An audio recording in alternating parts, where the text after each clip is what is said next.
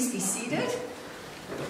Beautiful, beautiful winter Sunday day that we can all enjoy together as we worship the Lord. And we remain seated as we have our gathering chorus, Majesty.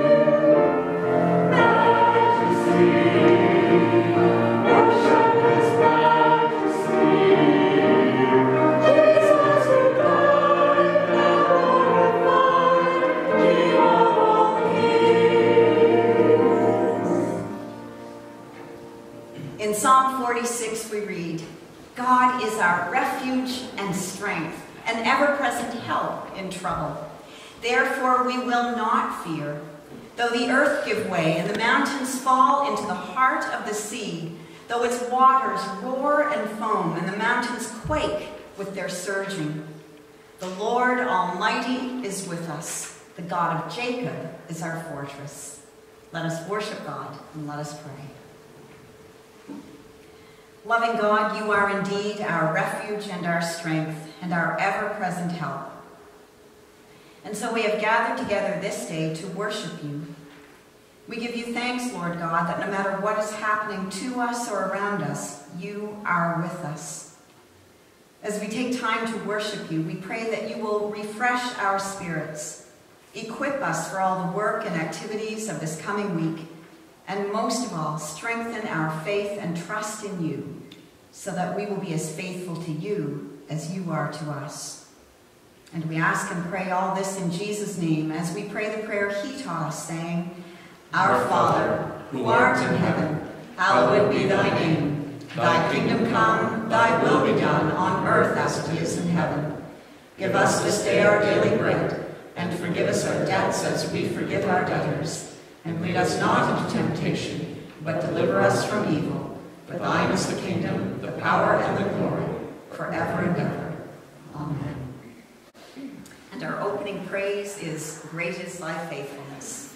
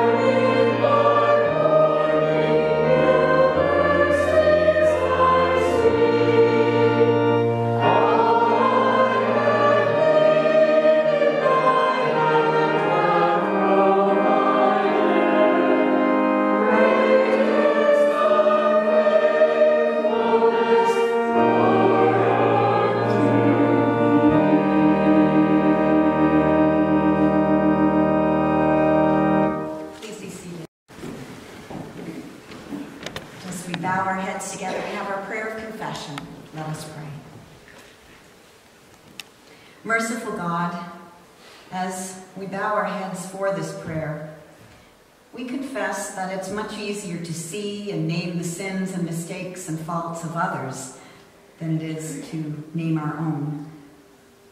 And although we try to avoid or hide from the truth, deep down we know that you know, Lord. You know the truth. And we give thanks, Lord God, that you don't ask us to be perfect, but you do ask us to be honest. And so we pray that you will help us to be honest, Lord honest with ourselves, with others, and with you. And so we pray and ask you to show us the things that we've done that are wrong. Help us to recognize the ways we need to change, and give us the courage to confess our sins, and give us determination to make amends. Where we have hurt others, help us to seek forgiveness. And where others have hurt us, help us to offer forgiveness so that we will know the freedom of forgiving and of being forgiven. And all this we ask in Jesus' name. Amen. Hear this assurance of forgiveness in Psalm 103. The Lord is compassionate and gracious, slow to anger, and abounding in steadfast love. He does not treat us as our sins deserve or repay us according to our iniquities. For as high as the heavens are above the earth, so great is his love for those who fear him. As far as the east is from the west, so far has he removed our transgressions from us. Amen. Our responsive reading this morning is from Psalm 46. And let's stand for this. God is our refuge and strength, a very present help in trouble. Therefore we will not fear, though the earth should change. Though its waters roar and foam, though the mountains tremble with its tumult. There is a river whose streams make glad the city of God, the holy habitation of the Most High. God is in the midst of the city. It shall not be moved. God will help it when the morning dawns. The nations are in uproar, the kingdoms totter. He utters his voice, the earth melts. The Lord of hosts is with us. The God of Jacob is our refuge. Come, behold the works of the Lord. See what desolations he has brought on the earth. He makes wars cease to the end of the earth. He breaks the bow and shatters the spear. He burns the shields with fire. Be still and know that I am God. I am exalted among the nations. I am exalted in the earth. The Lord of hosts is with us. The God of Jacob is our refuge. And as you remain standing, let's sing together thy word.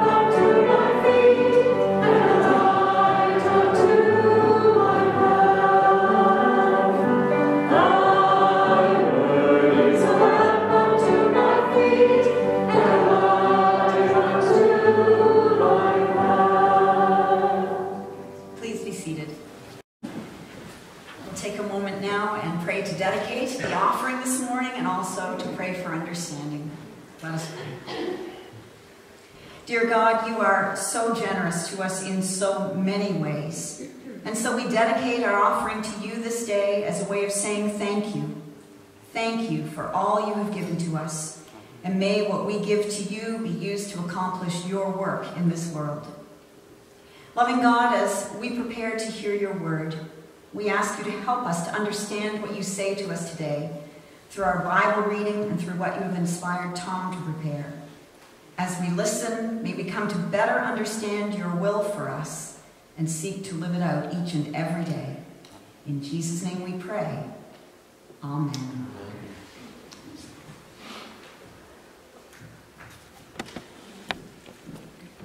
Our scripture lesson today is taken from the book of Psalms, reading Psalm 121. I lift up my eyes to the hills. From where will my help come? My help comes from the Lord who made heaven and earth. He will not let your foot be moved. He who keeps you will not slumber. He who keeps Israel will neither slumber nor sleep. The Lord is your keeper. The Lord is your shade at your right hand. The sun shall not strike you by day, nor the moon by night. The Lord will keep you from all evil. He will keep your life. The Lord will keep your going out and your coming in from this time on and forevermore. Amen. It was a beautiful summer Sunday afternoon, and Paula's grandparents decided to take a drive. Little did they realize that their lives would be forever changed when they returned home. During their drive, a fire started in a building on their farm, and with the high winds that day, the fire spread rapidly. When they returned, they had lost everything all their possessions, all their treasures all their clothes. Paula's grandmother had gone into the car with only her slippers on, and when she returned, those slippers were the only footwear she had left. As they stood before the charred remains that hours before had been their home and had been the family home for a long time, they felt shock and wondered who would help them. If you went for a drive, and you returned home to discover that all of your earthly possessions had gone up in smoke, literally, where would you turn for help? Every day, people are seeking help to their problems or their pain. When it comes to sickness or pain, we seek help from doctors. When we feel alone, we go to our friends. When we need to be loved, we turn to our families and loved ones. In our problems and pain, we usually seek help that is beyond ourselves. And that's what it was like 3,000 years ago when the psalmist penned the familiar words of Psalm 121. 3,000 years ago, if you had a problem and you needed help, you looked beyond yourself. And in the case of Psalm 121, many people looked up. The heathen culture that infiltrated Israel had established pagan temples. And where do you think these temples were built? They were built on the highest points of land, on top of hills and mountains. This is why the opening verse of Psalm 121 is actually a rhetorical question the people knew the answer. When the psalmist asked, I lift up mine eyes to the hills, from where will my help come? Asking, Do I lift up my eyes to the pagan temples on the hilltops because that's where I will be helped?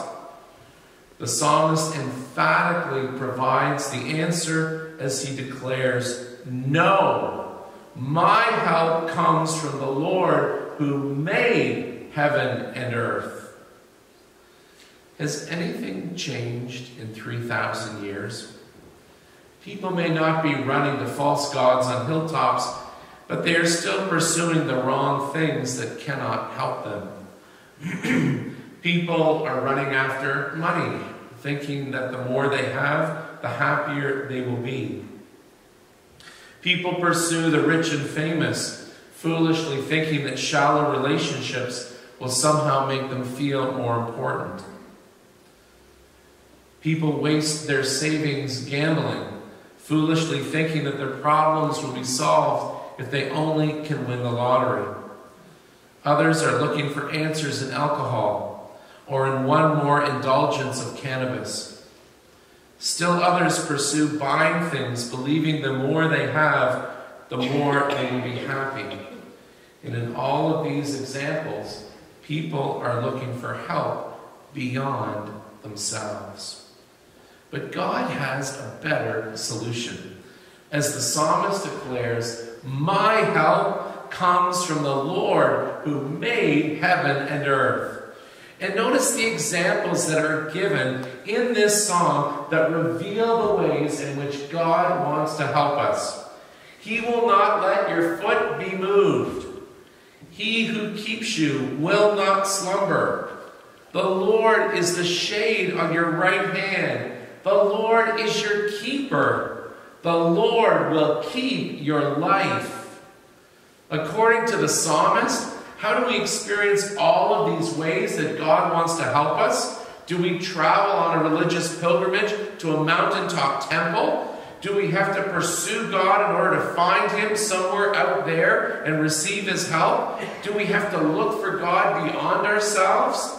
No. In giving all of these examples, the psalmist is trying to tell us that the Lord is here with you, right here, right now. You don't have to seek for God somewhere beyond yourself. God is much closer. God is within you because of your faith in Jesus Christ. God goes with you, and He is no further than a prayer away. Wherever you find yourself, God is with you. In each and every moment of every day, God is with you. You don't have to search for God to find Him because God is with you. And He's arranging timings, He's working things out. He's already got the plan in place to provide the solutions that you need.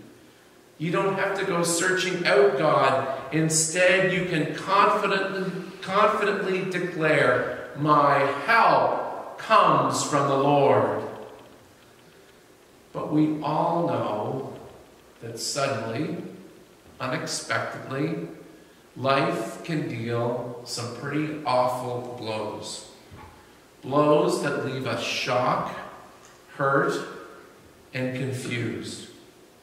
And what do we do in those moments when, like Paula's grandparents experienced, we are reeling and we don't know what to do next? Those awful moments when you find yourself broadsided in life, I urge you to please remember the church family at Pelican Point Church in East Grand, Bahamas.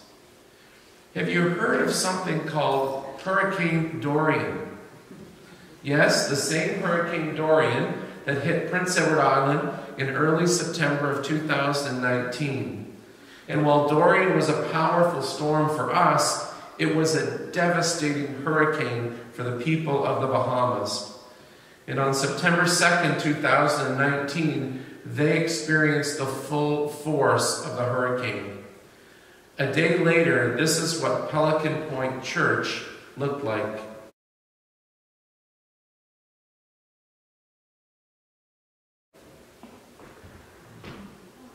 Imagine. Imagine in standing in the ruins of your home or your church, and there's no food, there's no shelter, there's no electricity. How would you feel? Angry, numb, alone, afraid, bitter? Tens of thousands of people in the Bahamas certainly felt those emotions, but they also did something else. They stood helpless in the wreckage and the devastation and they prayed, Lord, I trust in you. Some even said, My help comes from the Lord. And God answered their prayers by sending emergency relief from nations, including Canada. And one of the most important aspects of relief came not from a government agency or the United Nations, it came from a Christian organization called Samaritan's Purse, founded by Billy Graham's son, Franklin. In the aftermath of Dorian, with the country's infrastructure wiped out, there were no hospitals. Within 48 hours, Samaritan's Purse had arrived and set up an entire hospital in the Bahamas, complete with nurses and doctors who provided medical care to hundreds of people each day, including surgeries. And this is a picture of that hospital.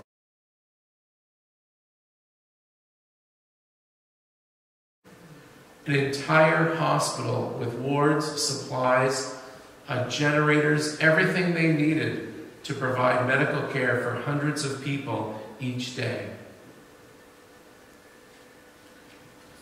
Back in Abaco, where Pelican Point Church is located, the community required a massive cleanup before anything could be rebuilt.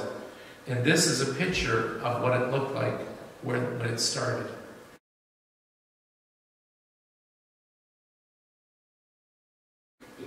That's what their rebuild began, with complete devastation.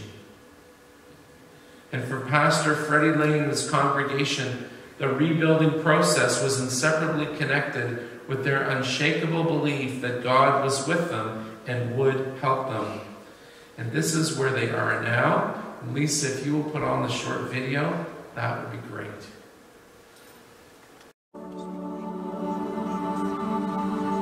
To God be all the glory. Great things he has done. September 2nd, 2019, Hurricane Dorian moved at a snail's pace over Grand Bahama, unleashing Category 5 winds, deadly storm surge, and flooding that claimed the lives of many residing on the island's eastern end. Driving through the area today is a stark reminder of the catastrophic impact of Hurricane Dorian. Residents of Pelican Point are still recovering. Some homes have been rebuilt, and others are still being repaired. But Eastenders are not without hope. You may recall that St. Matthew Baptist Church was completely destroyed by Hurricane Dorian, but today the structure has been restored. Pastor Freddie Lang says it has been an emotional journey thus far. I must give thanks, firstly, to God, and, and also we've had uh, Southern Baptists of the United States, uh, Louisiana and Mississippi district in particular, have really been instru instrument instrumental in our help thus far. So by all means, we're getting there. We're making strides. It should be really nice. Oh, I promise you. It should be really nice. And then, of course, The church is the only house of faith in Pelican Point, and Pastor Lang notes that it is the community's lighthouse. Witnessing the destruction in the wake of the storm, he stood in faith, believing that it would all work out for the greater good in the end. even though the devastation was rough and tough, my faith was very strong. I never really looked too much at what it was, but rather what it will become. And so my words of encouragement to others who, who, who are still going, going through because many others, hundreds of, of people right in East Grand Bahama still have a long way to go. And my, my encouragement to them is to apply your faith with works. Pastor Lane said, Even though the devastation was rough and tough, my faith was very strong. I never really looked too much at what it was, but rather what it will become. Pastor Lane's words are another way of saying, My help comes from the Lord. You know, would we have that same kind of faith if our home was suddenly wiped out? If our church was suddenly wiped out in a matter of a day? Would we have that kind of faith? And I have to tell you, in researching for this message, I went on a number of, of church websites in the Bahamas. and the message was incredibly consistent. In the midst of the devastation, in the midst of the loss, in the midst of the shock that they felt, they resolved to keep trusting in God. You would think that losing so much, people would give up their faith. Actually, their churches grew as people reached out believing that God would see them through. Phenomenal faith. And Pastor Lane and his church, just one example of countless others who saw the devastation around them in the midst of their own shock and grief as an opportunity to trust and deepen their faith in the Lord Jesus Christ. And I think one of the reasons why they were able to do that is at the very heart of what Psalm 121 is trying to get us to learn. God isn't out there somewhere. God is in here through the power and presence of the Holy Spirit in your life because of your faith. The same faith that we share with our sisters and brothers in the Bahamas. Where do we go from here? 2021 is not going to be a year in which all of our problems go away and life returns completely to normal, as much as we wish it would. We'll still have personal challenges. We still have an ongoing pandemic to deal with. But the people of the Bahamas serve as an example to us of how we should think and act and believe in the midst of our storms.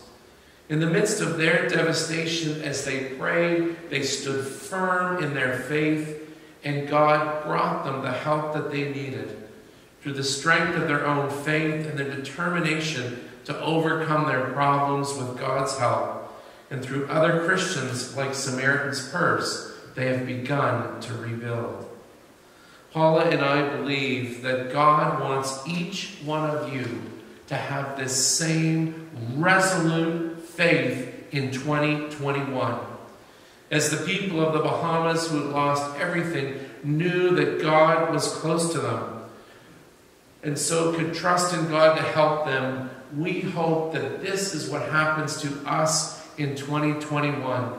Not that we have devastation, but that we know the same faith that they have, that the Holy Spirit within us will be the one that we go to first when we need help.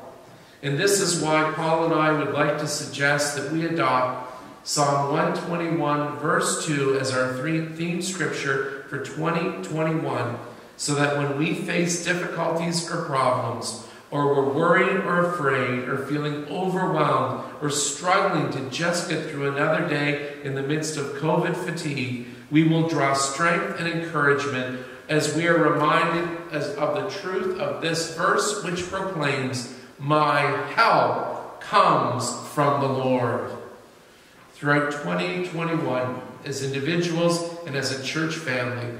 Let's turn to God for help. Let's trust Him for the comfort, strength, hope, and answers that we need. And in the months ahead, may our faith deepen and grow as we trust in Him and proclaim with our thoughts, our words, and our actions, My help comes from the Lord. Amen.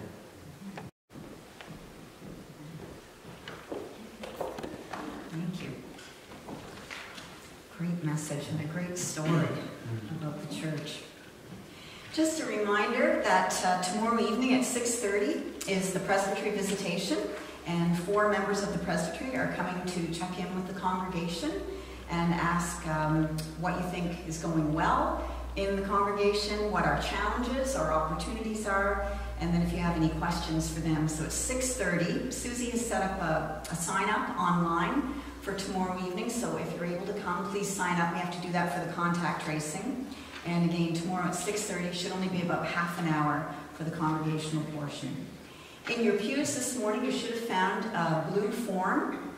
And we're in the process of looking for nominations for candidates to serve as elders.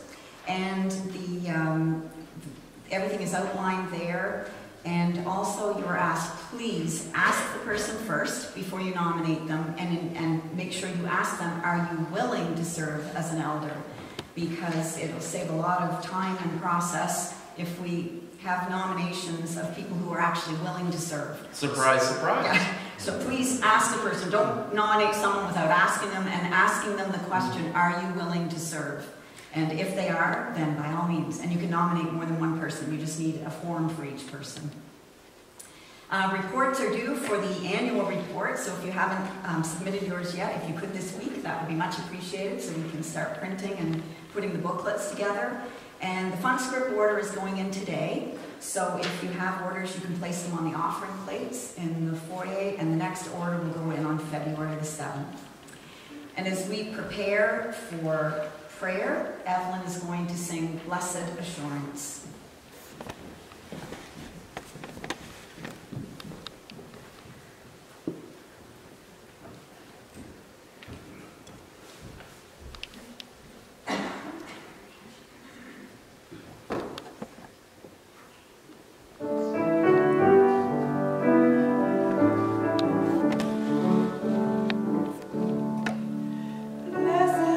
true.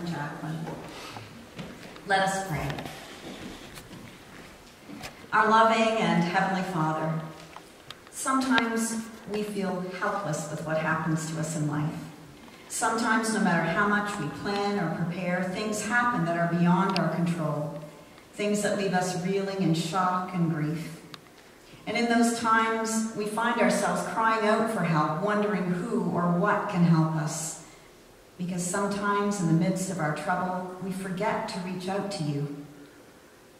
You have promised us, Lord God, that you are always with us and that you will never leave us or forsake us.